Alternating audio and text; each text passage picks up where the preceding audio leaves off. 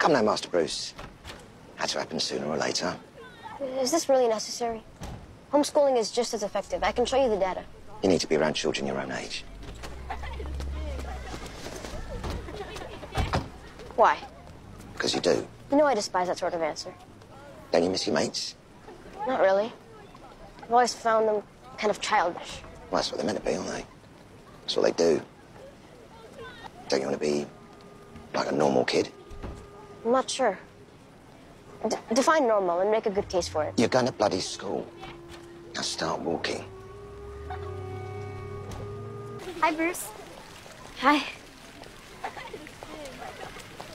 Brucey,